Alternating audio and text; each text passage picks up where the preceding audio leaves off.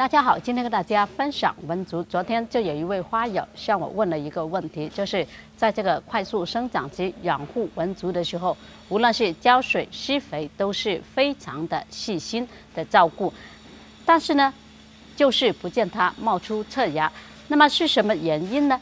首先呢，就是这个盆土出现了板结或者是呈碱性了，还有一点呢，就是盆土里面的有益物质。少了，那么就会影响到这个根系吸收，它输送的养分少了，就会植株养分不足，那么它生长的比较缓慢。更何况想要它冒出侧芽，那是有点难的了。只要我们在这个时候呢，给它调节土壤的话，就有利于这个根系吸收养分的好，供给的养分充足了，才有利于植株生长的壮。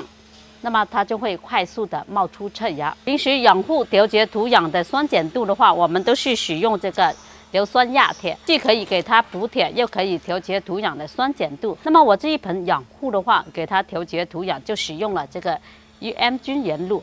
这种原露呢，它里面含有非常多的有益活菌，它能在土壤里面分解出更多的有机物质。那么这个土壤的有益物质呢，就变多了。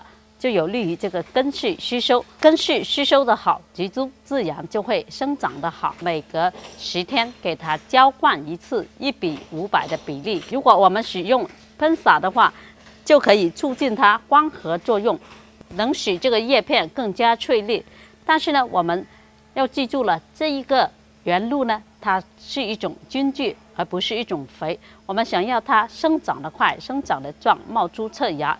当然是少不了施肥的了。我们可以给它在土壤表面施用一种速效复合肥，而且呢，它里面所含的营养成分是非常充足的。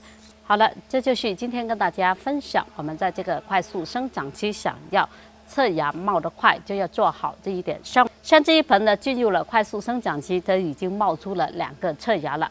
好了，这一期就跟大家分享到这里，我们下期再见。